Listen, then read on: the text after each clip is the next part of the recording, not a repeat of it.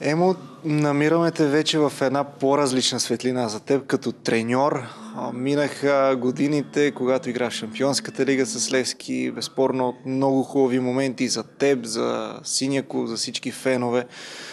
Как, с какво е свързана ти сега работата ти в Хаско като треньор? Нов отбор градите. Разкажи малко повече за този проект. Значи, Искам да ви кажа, че просто всичко от нулата, понеже отбора, който беше в група, така не можехме да задържиме и финансово имаше така задължение към НАП и трябваше да се фалира клуба. Наново с така Мари Стоилов, една добра организация тук в Хаско с старите легенди на футбола, основахме нов клуб, който той се нали, аматьорски футболен клуб. За начало Хаско и постепенно направихме така детски, детско-юношеска школа, от която има около 150 деца. И естествено, неизбежно е да имаш и мъжки отбор, от който така в моя чест, аз съм треньор на мъжки отбор. И ядрото е повече от млади, млади футболисти, от набор 9-9, 2009-8, това е последния набор тавана на старша възраст. Играеме в аматьорската така окръжна група, от която сме, мисля, че трети, точно така, понеже аз от много година поех отбора. И целта ни е да така да постигнем тези резултати, които преди години са постигани и да изкачиме по-нагоре отбора по най-бързия начин. Лесно ли се реши на тази крачка да преминеш към треньорството? Със сигурност за много бивши футболисти го има този момент. На къде да продължат треньори, менеджери, въобще да се занимават с футбол? В началото, преди да се откажа от футбол, понеже аз тук още в А група играех в Хаско и втория полусезон Емил Велев стана треньор на Хаско и бях капитан на отбора, от което си коментирахме така доста време с него на лагера в Анталия и той ми предложи да му стана помощник и да почвам леко по леко наистина да се ориентирам, защото футбола бях така напреднал възраст, от която евентуално нямаше една-две години тавана и то трябва да си здрав физически. А в моя случай аз се контузих тежко в коня спорт, като бях в Турция. И оттам така много трудно се върнах на, на, тези, на това ниво, което преди години са свикнали феновете ме виждат и реших да се откажа, но до някъде той беше прав, че наистина трябва да, да нещо да предприема. Така по най-бързия начин записах треньорски курсове, стигнах до, взимах АБ лиценза още преди години.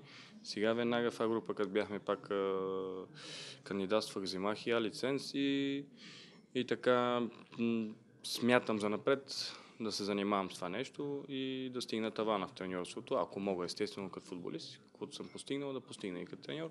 Радвам се, че така имам шанса да се съветвам с един много сериозен човек, първо като, като човек като Марисов, пък за треньор няма смисъл да го коментираме. Това е най-добрият треньор в, в България за мене. И в моя чест аз съм работил с него, знам му качества като треньор, така че гледам наистина нещо, да, да, да се казва да за памета от неговата работа. Отбора финансирането откъде идва? Знаем, че това в голяма част от отборите, дори в елита, е голям проблем. Спомена, че Мари Стоилов помага. Как и откъде от друга взимате пари за издръжка на самия отбор? Значи школата школата сме направили така, че да се самоиздържа. Тоест, от, има такси на децата, които те трябва да се плащат и така се отделят от таксите за треньорите, за, за месечно възнаграждение. Отделно, естествено, и за клуба, които школата се самоиздържа. Сега, имаме управителен съвет, който е създаден от пет души, от които стари легенди, така бизнесмени, Естествено, Мари Стоилов, когато може, винаги ни е помагал, така и финансово, и с, примерно, нали, купи ни 10 топки, купи на децата, така че помага, много помага. Помагат също така и бизнесмените. Всеки месец имат там и определени пари, които влизат в клуба и така, но ще се радвам за напред наистина Хасково вече да почне да помагат и общината, да направим един добър тренер, терен, да направим едни добри помощни и наистина този град да се, да се развива. Мечта ми е, но знам ли, може да се сбъдне един ден. Каква е целта сега за Хасково, влизане в професионалния футбол, за най-напред? Може ли въобще да се мечта и отново Хасково да играе в елит? Еми мечта е, естествено. За мен лично като млад треньор, който иска да се развива, искам тези млади момчета наистина ги подготвя на едно ниво, от което нали, в крайна сметка, да се вика след време да ги виждаме в професионалния футбол, ако можем някой наистина да се по-развива, да, в смисъл такъв да, да го вземат Левски, ЦСК, Лудогорец, да се развива и така клуба да пак естествено да влизат някакви пари. Но моята, за сега, моята работа е да подготвяте момчета и наистина се изкачиме до Б група, ако можем естествено втора лига. И оттам вече един сезон да, да можем да, да влезем и по-нагоре. Сега ли за това да си треньор? Има ли моменти, в които ти си играе на теб в труден момент, да кажем, за отбора, когато си искал да влезеш и да помагаш? Да, много е едно такова особено всеки път. По някой път, като бях помощник на, на, на, на Емил Велев, на Стамен Белчев, като бяхме в Хаско, не, беше ми интересно. Все се чудих, викам, дано някой не иска да, да е контузен, че аз да, да влезна, евентуално да попълна групата, да поиграя. Не, липсва ти това нещо. Но в крайна сметка, като си осъзнае човек и нали, всеки си знае местото, аз все пак съм треньор. И а от сега нататък, вече като съм и старши треньор, да, някой път мога да демонстрирам, да им покажа наистина как, къде, кой, къде да се предвижи. Но е, по-добрият вариант е да не участвам, просто да, така да, ако мога да ги науча. Защо се получи така с Хасково? Сам каза, че града е дал много именити футболисти и а, треньори Станимир Стоилов, а, Стамен Белчев, ти включително като ти играл в, в Левски в Шампионската лига. А, от, от имена в българския футбол. Защо се стигна до тук отбора да е с аматьорски статут?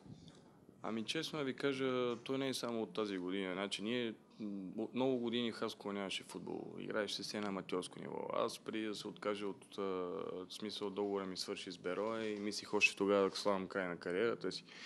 И така имаше едни млади момчета, тук бизнесмени, поддаваха някакви пари и викат, бе, бате му, дай да пробваме може пък от две група някой се откаже и да влезем в Б. Вика, момчета, аз се отказвам от футбола, но ако трябва за Хасково, ще играя пак, няма проблем. И един ден се качваме на стадиона и казват, да, един от Б група се отказва и ни дават шанс. Ние бяхме втори, Гълъбов бяха първи, дават ни шанс да влезем в Б. Ми перфектно, значи продължаваме. Радваме с толкова години, чакаме 22 години. Б един сезон, станахме първи, взехме, че влезнахме в А. И така 22 години и влезнахме в А група. Също така при 22 години има отбор, който е бил в А група, е бил на едно добро ниво. Но след тези 22 години в наша чест се получи така, че ние да влезем. Сега оттам нататък вече мисля, че нещата много за малко се разминаха. Имаха, имаха едно недоразумение, мисля, че между община, бизнесмени и оттам се скъса така нишката и всичко се провали. За жалост България почти навсякъде, казвам в провинцията, подчертавам, не в столица, защото столицата нямало коментиране, там винаги се е харесвал футбол, е имало хора винаги, които наистина могат да помогнат за футбола. Не казвам, че в Хасково няма, но просто не е това, което трябва да е. Се върнем към годините, в които играеше в Левски, тъй като изминаха, мисля, че 10 години, откакто отбора влезе в Шампионската лига. Връщаш ли се към тези моменти? Не само Шампионската лига, доминирахте в първенството. Липсва ли ти този момент, този отбор? Няма ден, който да не, си, да ни дам пример е, така на моите футболисти, как е един тренировачен ден, как е преминавал в футболен клуб Левски. Е, спомням си, да, много хубави моменти. Той почти лоши е нямал. Само хубави моменти, целият отбор, мои приятели нали, в отбора с отборници, моменти, които наистина постигнахме доста не само за отбора Левски и за България. Ние бяхме първи отбор, който влезна в Шампионска лига. Хората така изживяха това чувство с нас заедно. Е, просто всеки ден си спомням за тази синя приказка. Очакваш ли да стигнеш до там с Левски, тъй като а, там конкуренцията е жестока, знаем, особено при нападателите. Винаги Левски е имал поне в предните години добър нападател. Имаш ли надежда, че наистина ще постигнеш нещо такова, паметни голове в евротурнирите, твое дело? Тайно, тайно, тайно така крепях в мене си една мечта, че може би наистина ще направя нещо, ще оставя една следа в Левски. Но не очаквах чак толкова. Наистина, реално, след толкова години е хубаво да си призная. Но всеки ден давам пример със себе си на моите футболисти. Защо? Защото аз бях едно обикновено момче, който го купих от Черноморец, от провинцията, дошъл в големия град. Така, отделно четирима много добри централни нападатели в лицето на Гонзо, на Чиликов, Ден Банерен, имаше, спомняте си, Тошко Колев, млад, млад добър, младежки национал. Аз бях един от, от футболисти, които са направили впечатление в даден отбор и се е привлекло само да видим на, на какви качества и за колко време може да издържи в Левски, защото знаете, че Левски нямате ли психика, не мога да издържите. Публиката е много добра, но ако подскажеш, че си лабилен, не мога да издържиш. Ми, това ми беше фикс идея, пък и така се получи, че първите ми мачове с Левски, като ме привлекаха Георги Василев и Андрей Желясков, си спомням. Може би съм имал някакъв... Бях доста мотивиран, наистина, доста мотивиран. Работих много. И така се получи още първите мачове. За първенство също отбеляза голове, едно след друго в контролните срещи голове. И така мнението почна леко по леко да се променя на много така и футболисти, включително от ръководството на Левски, че наистина съм един добър трансфер за тях. Имаш ли любим матч, любим гол с фанелката на Левски за това престой там, тъй като наистина са много в различни турнири? Е, наистина всеки един гол е бил ценен за Левски, защото де даже по едно време се шегуваха в отбора, че аз вкарам ни гол, значи отбора побеждава. Имам доста голове по един на нула, които съм вкарвал, но наистина този паметен гол с Динамо Букуреш мисля, че е една следа не само в мен и във всички привърженици на отбора. Беше уникално чувството. Така аз и в комбинация Боримиров шпагат на това последна секунди 93-та и 54-та и 6-та секунда и всичко това вече се наслагва и оттам вече сега ескалира. И за мен лично това е едно от попаденията, което никога не бих забравил и наистина едно от много. Пак казвам, подчертавам, вкарал съм доста важни голове за Левски, но, но този гол е паметен за мен. Малък ли беше Левскар? А, тъй като има футболисти, когато, когато бъдат привлечени в някой отбор, започват да казват, че това е било любими отбор от дете и такива неща. При теб така ли беше? Значи, при, при мен нещата бяха объркани. Значи, майка ми беше от Левски, баща ми от, от ССК. И в дербитата, като, като дете, глед, баща ми вика, ти си от, от ССК, майка от Левски. И в крайна сметка, понеже аз винаги съм бил мами на детенция, така се получи, че за радост си бях от Левски и така се получи, че Левски ме взимах. Макар, че имаше в Черноморец един момент, Стойчо Младенов искаше да ме привлече в ЦСК, но много за малко Йордан Тодоров тогава си спомня, че той отиде и аз в Левски. Просто така се разминаха нещата. По времето на Тодор Батков каква беше ситуацията в Левски? Златните времена с участието в Шампионската лига. Има ли, имаше ли тогава проблеми от финансово естество?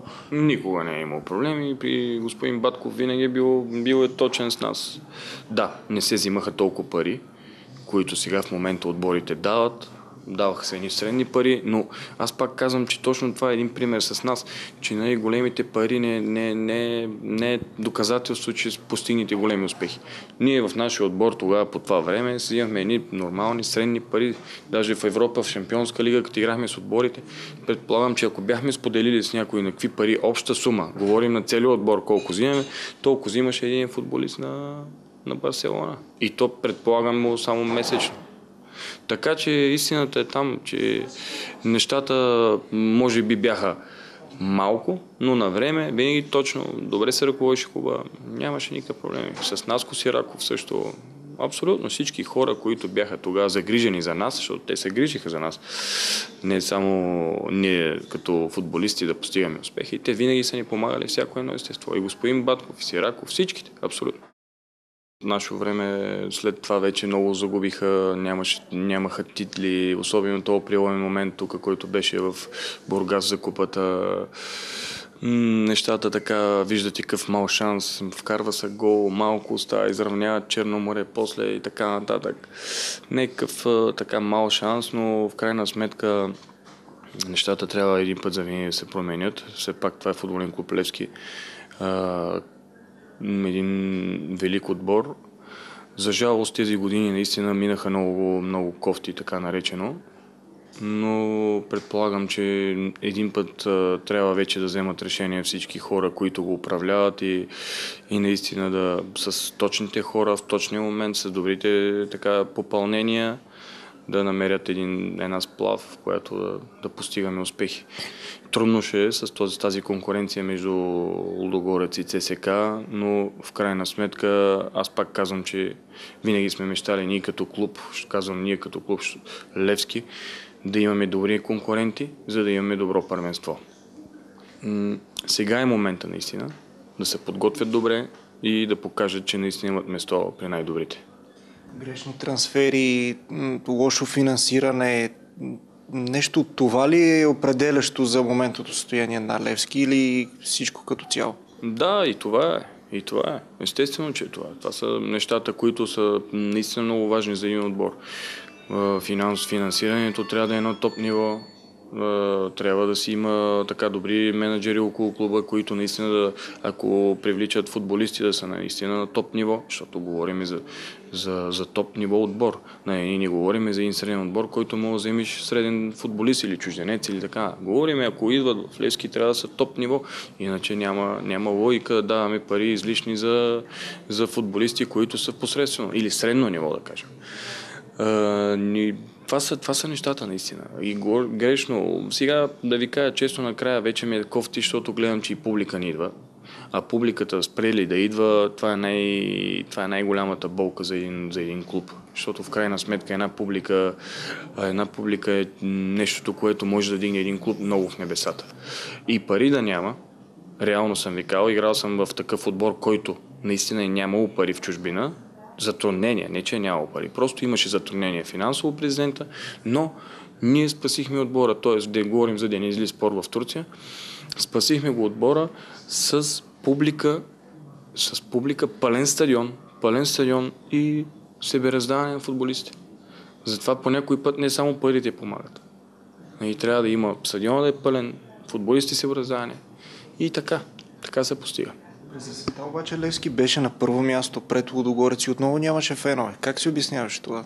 Това е, това е което не мога да си обясня. Значи нещо се къса, има нещо, което се къса. Защо феновете са разделени, защо, защо не идват на стадиона, идват посред по-малко хора. А, това е което се, се питам, защо се получи така, като ние по наше време, ние имаме на тренировка само хиляда души. Помня един матч с Черноморец, Бургас, София, в които победихте с 10 на 0 и имаше 10 000 човека на стадион Василевски. Спомням си, спомням си, спомням си. Просто си беше наистина много супер, просто публиката винаги е била при нас. Не знам защо се е получило така.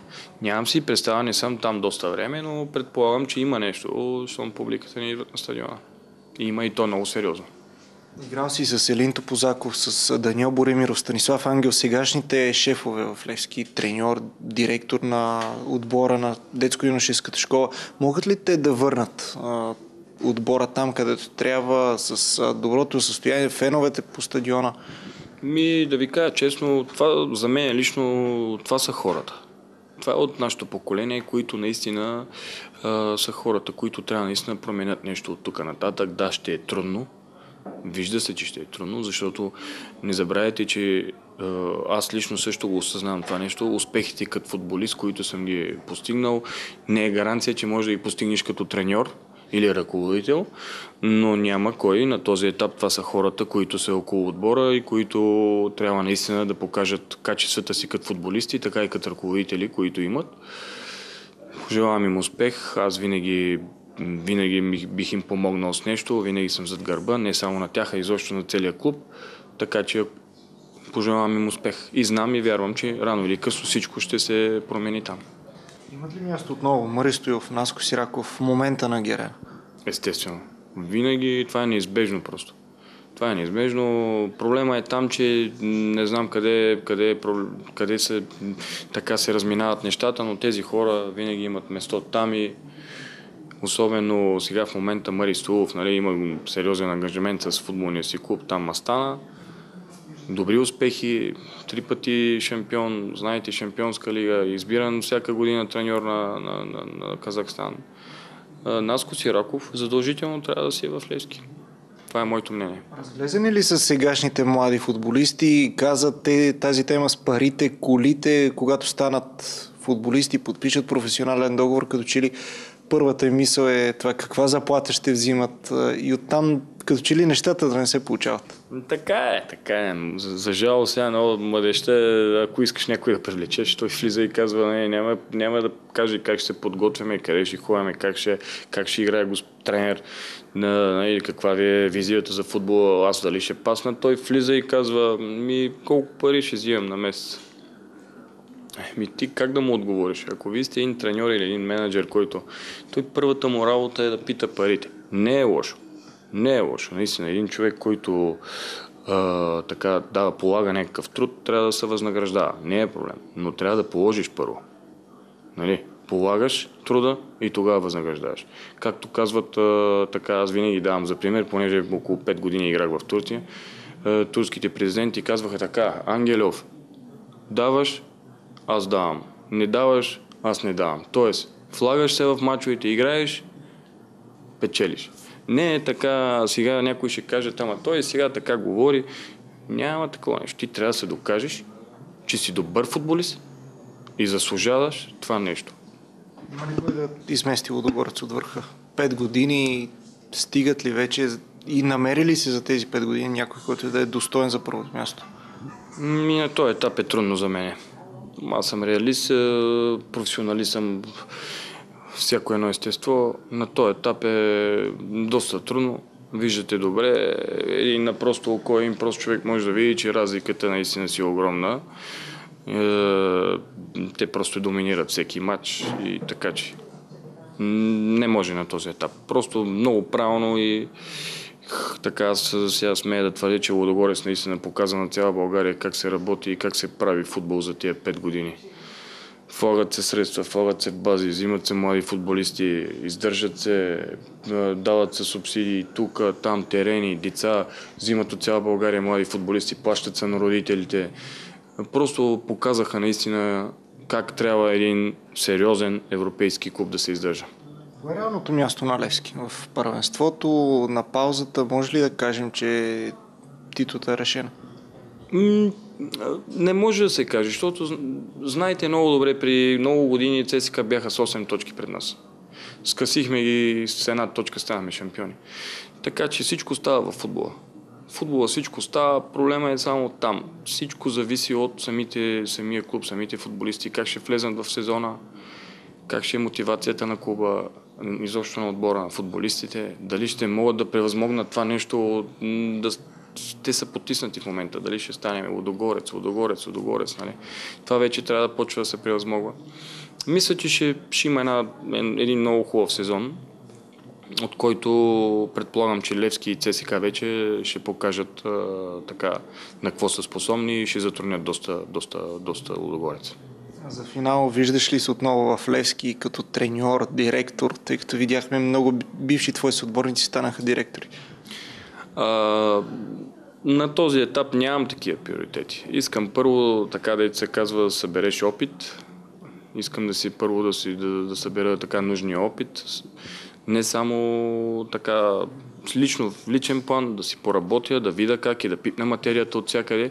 Ако някой ден решат и наистина а, имат нужда от мене, винаги мога да се върна на Герена, така че няма никакъв проблем. Проблема е сега в случая, че на този етап нямам такива намерения. Просто съм се отдал на, на треньорството и искам постепенно, постепенно да, така, да, да се усъвършенствам.